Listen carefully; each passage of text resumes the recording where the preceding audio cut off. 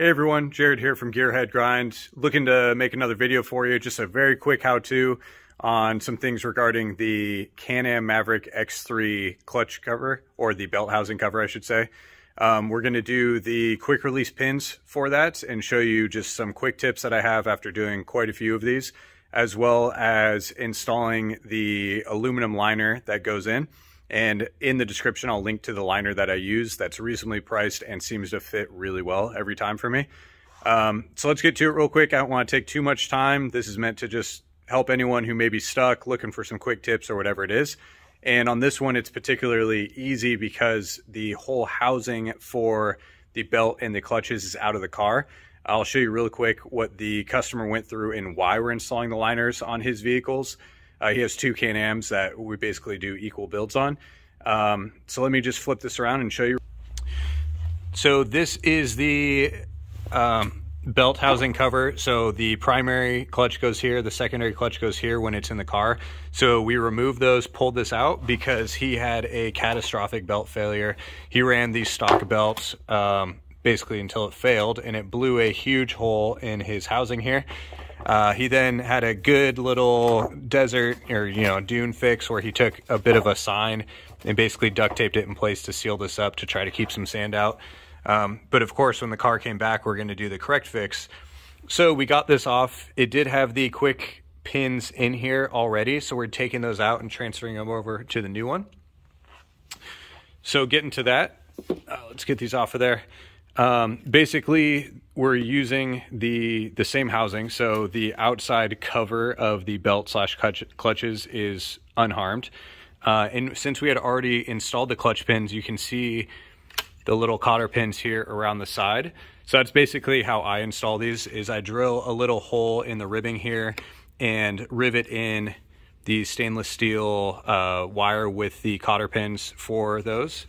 Um, so that part's super easy, nothing specific there. Just pick a good spot to drill in and uh, get some rivets in. You will need, of course, a rivet gun. Just a hand one's fine. These are really easy little aluminum rivets.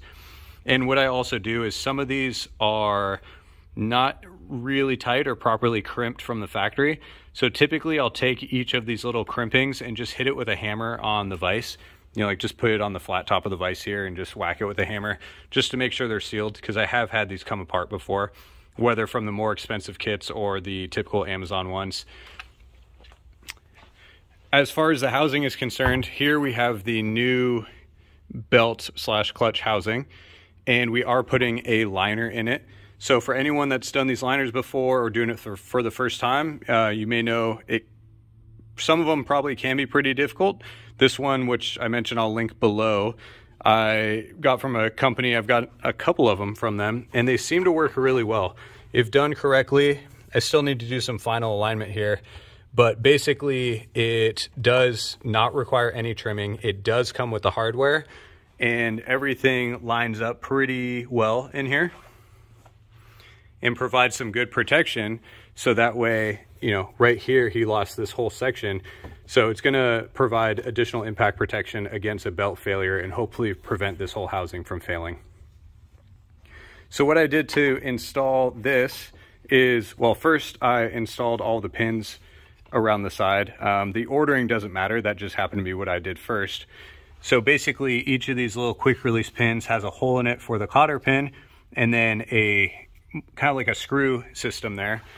So all right, so what I'll do to install these pins, especially if it's out of the vehicle like this, which makes it substantially easier, is I'll basically put the top 3 eighths or so of the pin in the drill and tighten it down. You really want to, to crank that down so it doesn't spin in the drill itself.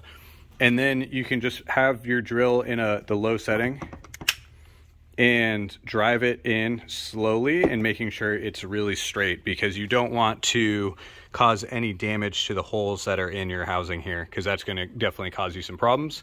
You can put these in by hand, but it's not super fun. Um, basically what that involves is getting something to put through the hole or a special tool that tightens onto these and gives you some leverage to put them in. Um, basically what I do is I'll get started with the drill and then I will put the the cover on to make sure all the pins are aligned and then I'll check the height of them.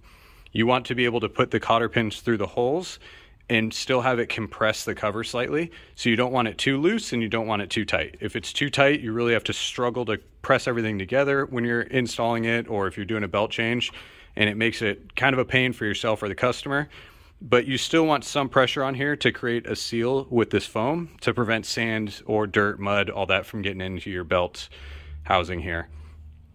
Um, so yeah, basically you just get each one of these down. I mark them if I need to loosen them or tighten them a little bit to get them all straight. And ideally I have the holes facing basically parallel to the outside cover here because if they're going into the cover, sometimes there can be interference. So typically with maybe an exception or two, it's easiest to install them when it's on the car if your holes are basically lined up so the cotter pin goes through like this. As far as installing the liner here, I picked or I tend to pick this hole to line up because it's the, the real like complete hole here uh, that you wanna make sure to get aligned as best as possible. And I'll use a series, I have four of these clamps that I'll basically use to get it aligned and I'll drill one hole and get a bolt through and then start playing with the alignment, but essentially make it so that you have an equal lip here all the way around the outside, but also everything is lined up so right here, it's actually a nice smooth transition. And making sure that there's no gap between the aluminum and the housing itself. So you're clamping around and then drilling the next hole. You don't even have to do two at the same time. You can see I haven't even finished here. So I'll do one and kind of bolt it together. And then you can start moving your clamps around and you just wanna work your way around, making sure that there's no gaps here. You can see it's sealed all the way. And if you do it correctly, and if you're using a manufacturer that does it right, um, you can see it's not perfectly lined up. I could have done a slightly better job here, but I didn't have to trim this at all, which is really nice. I didn't have to take it out once I bolted it in. Um, so everything went pretty smooth there. So I'm gonna go ahead and wrap this up, put in all the remaining bolts. And um, like I said, this one comes with hardware.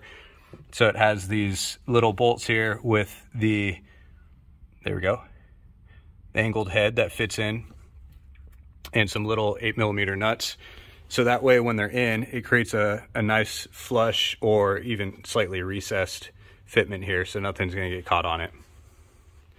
Well, that's it for now. I'm gonna get this wrapped up and get everything back installed in the car.